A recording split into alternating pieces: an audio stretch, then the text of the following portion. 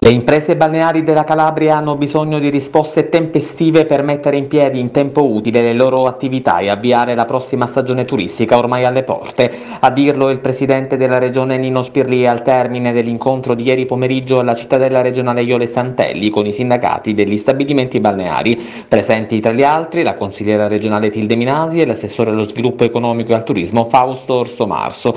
Si dice fiducioso il governatore facente funzioni circa la risoluzione del delle problematiche delle imprese balneari affinché possano vedersi riconosciute le concessioni ai fini delle aperture. Aspettative legittime quindi da soddisfare al più presto per far ripartire un indotto che vale milioni di euro.